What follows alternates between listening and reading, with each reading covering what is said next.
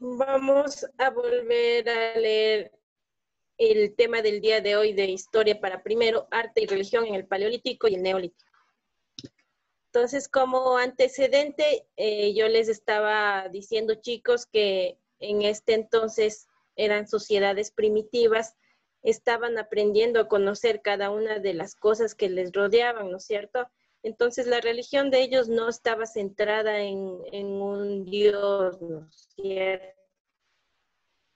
sino que más bien a todo lo que sucedía en la naturaleza, todo lo que era misterioso, aquello que ellos no conocían, eh, como aquí nos dicen fenómenos atmosféricos, etcétera, diferentes sucesos que ellos podían observar. Ellos consideraban que eso era una divinidad.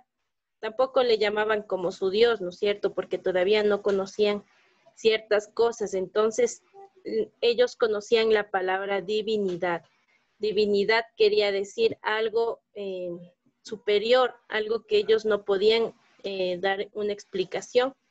Sí, eh, ejemplo, también daban este carácter de divinidad a diferentes montañas, volcanes que hacían erupción, etcétera, cosas que ellos no entendían, consideraban divinidad, ¿no? Entonces, este es el origen, chicos, de la religión.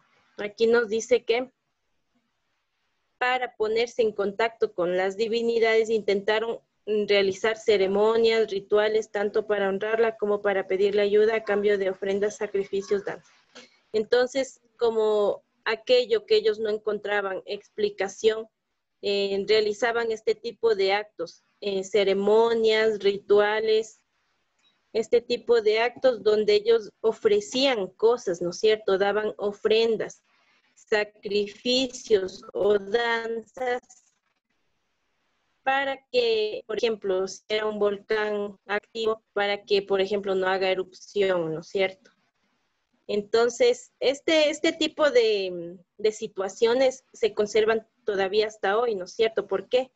Porque hasta hoy podemos observar que se realiza este tipo de cosas por ejemplo, en diferentes raimis conocemos nosotros que se realizan ofrendas, ¿no es cierto? ¿Qué se ofrece? Por ejemplo, las cosechas, los granos frescos, flores, frutos, etcétera.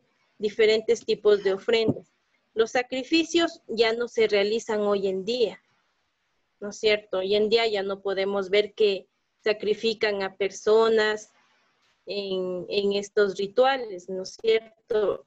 Eh, animales, no, no tampoco creo que realicen este tipo de sacrificios, pero las danzas aún se conservan hasta el día de hoy, ¿sí? Las danzas todavía se conservan hasta el día de hoy. Eso sí podemos observar, ¿no es cierto? En diferentes rituales, como en nuestra institución mismo lo podemos observar, como es bilingüe y celebramos los raimis, podíamos observar que realizaban la chacana, donde realizaban diferentes tipos de, ponían diferentes tipos de productos, entre ellos teníamos semillas, eh, teníamos flores, teníamos frutos de las diferentes plantas que se siembran, ¿no es cierto? Principalmente en la sierra. Entonces, este es el origen de la religión y vamos a continuar con el siguiente tema, la siguiente diapositiva. Por favor, me ayuda, señorita Álvarez. Entonces, en esta parte estamos observando esta imagen, ¿no es cierto? Esta imagen era una parte de la expresión de las sociedades primitivas, ¿no es cierto? Entonces, aquí nos habla de diferentes tipos de hallazgos eh, de enterramientos, dice, ¿no es cierto? Eh, tanto como individuales como colectivos, ¿qué quiere decir? Diferentes tipos de enterrar a sus muertos, ¿no es cierto? Entonces, eh, esto también conocemos de las culturas prehispánicas de, en nuestro país, ¿no es cierto? Aquí, por ejemplo, los enterraban en qué? En vasijas. Sí, se ha escuchado usted la canción de la vasija de barro, ¿no es cierto? Esa canción también hace referencia a este tipo de, de enterramientos, como vemos aquí donde se, a los muertos, según el rango que ocupaban en, en la, en, en la esfera social en la que vivían, eran enterrados de diversas formas, ¿no es cierto? Y también eran enviados con diferentes objetos. Aquí nos habla como un ajuar funerario, ¿no es cierto? Inclusive les enterraban con eh, bebidas, con alimentos, con armas, ¿no es cierto? ¿Por qué? Porque creían que en la otra vida iban a, defenderse también, ¿no es cierto?, de, de las personas. Y entonces, estas eran las creencias que tenían en este periodo, en el neolítico, ¿no es cierto? Y el, objeto que ustedes pueden observar aquí es una Venus. Eh, como Venus se les conocía estos artefactos que, que expresaban la forma de la mujer, ¿no es cierto? Las Venus. En nuestro país eh, son muy conocidas, por ejemplo, las Venus de Valdivia, ¿no es cierto? de la cultura Valdivia, donde le representan a la mujer en esta imagen, ¿no es cierto? Ya vamos a ver qué representaban las Venus. Me va a ayudar. Ya, entonces en esta parte, como ya les había dicho anteriormente, vimos esa imagen, era una Venus del, del periodo neolítico, ¿sí? Entonces vamos a ver cuál era el significado de estas Venus y el culto que se realizaba. Se comparaba siempre a la mujer con la madre tierra, ¿no es cierto? Porque la madre tierra era, eh, tenía la figura de la mujer, ¿sí? Eh, y la fertilidad de la mujer se le aparentaba con la fertilidad de la tierra de la misma forma. Y en estas figuras que eran las Venus, se trataba de dar énfasis a las partes relacionadas con la reproducción, como nos dice aquí, caderas, vientre y pecho. ¿No? Por eso eran muy marcadas estas partes en estas Venus que se podían encontrar. Entonces acá también nos dice, este tipo de figuras fueron especialmente numerosas en el neolítico, ¿sí? En el neolítico este, se expresaba, esta sociedad del neolítico se expresaba mediante estas figuras. Sí, seguramente nos dice aquí, a causa de la preocupación que mostraban los pueblos agricultores por la fertilidad de la tierra. Entonces, como les digo, ¿no? La fertilidad de la mujer era muy relacionada con la fertilidad de la tierra. Aquí nos dice, por tanto, el culto a estas diosas pretendía favorecer la abundancia de las cosechas agrícolas. Entonces, estas Venus de Valdivia servían para eso, ¿no? Para que los habitantes rindieran este culto, realizaban, eh, como decía, eh, diferentes, diferentes ofrendas, danzas, etcétera, cosas que, que sirvieran para que las tierras fueran abundantes, ¿no? Y las cosechas dieran buenos frutos. Entonces, para eso servían estas Venus, ¿no? Vamos a continuar. Ya, la religión está ya muy clara, creo yo, ¿no es cierto? Ya les le, aclarando muy bien que en la religión ellos no adoraban a un Dios, más bien ellos eh, rendían culto a todo aquello que les producía miedo, ¿no es cierto?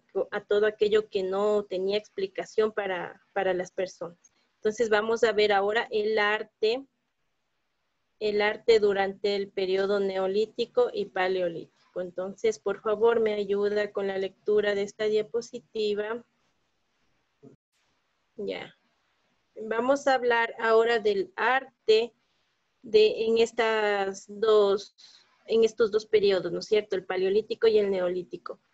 Ah, vamos a hablar primero el arte mobiliar, nos dice. El arte mobiliar es el conjunto de objetos transportables con algún tipo de decoración artística, ¿sí? Transportables, ¿qué quiere decir? Que ustedes podían llevar a la mano, ¿no es cierto? Llevar a la mano, se podía mover de un lugar a otro. Ya entonces, este es el arte mobiliar. Nos dice que es, se empezaron a elaborar en el Paleolítico Superior y existen diferentes objetos decorados. Entonces, ¿dónde ellos podían expresar el arte? en ese entonces no tenían cuadernos, no tenían lienzos para desarrollar su arte, ¿no es cierto? Entonces, ¿dónde ellos desarrollaban? Donde tenían ellos a la mano. Como ahora, por ejemplo, ahora les mandamos a hacer trabajos, ¿no es cierto? Con las cosas que usted tenga en la casa. Tiene que ser creativo y utilizar lo que tenga en su casa. De la misma forma, en esta época, ellos utilizaban las cosas que tenían a mano, como eran las piedras, los huesos, la madera o hasta, y realizaban esto también en diferentes objetos, eh, dándoles, eh, yo que sé, un poco de realce, ¿no es cierto? Como por ejemplo nos dice el mango de propulsores, de cucharas, de bastones de mando, placas con grabados de animales y también en las llamadas Venus. Ya vimos lo que eran las Venus, ¿no es cierto? Entonces aquí también tenemos algunos ejemplos de lo que era esta pintura. Vamos a continuar. Y vamos a ver también el arte rupestre. Entonces, para ver esto, vamos a leer, como está un pequeñito texto, voy a leer yo mismo. Ya nos dice que el arte rupestre eran las pinturas y los grabados sobre la roca, ya sean al aire libre o en cuevas o en abrigos. Entonces, el arte, el arte rupestre, chicos, ténganlo muy claro, y a diferencia del arte que vimos, el mobiliar, el mobiliar lo realizamos en cosas que podamos eh, manipular, ¿no es cierto? Como piedras, huesos, madera, etc. En cambio, el arte rupestre eran ya pinturas mucho más grandes que se lo realizaba en paredes inmensas de, de las cuevas, etc. ¿Sí? Estas pinturas, como ustedes pueden ver, expresaban diferentes eh, acciones que realizaban las personas en esta época. Por ejemplo, aquí podemos ver eh, claramente que esto nos puede enseñar la casa, ¿no es cierto? Y esta pintura de, acá podemos observar claramente que eh, está mm, expresando el principal animal que existía ahí, que servía para vestimenta, para mm, alimentación, y sus huesos y su piel también lo utilizaban para diferentes cosas, ¿no es cierto? Aquí nos dice en los materiales con los que ellos realizaban. Se realizaron en el Paleolítico Superior y el Neolítico con colorantes minerales. El colorante mineral es aquel que sacan de diversas plantas, ¿no es cierto? De diversos frutos. Entonces, ese es un colorante natural. También nos dice que utilizaban el ocre, el carbón, arcilla, manganeso, óxido de hierro, entre otras cosas que les servían para pintar. Y esta pintura se quedaba, ¿no es cierto? Se quedaba y perduraba. Vamos a ver aquí, dice algunas curiosidades.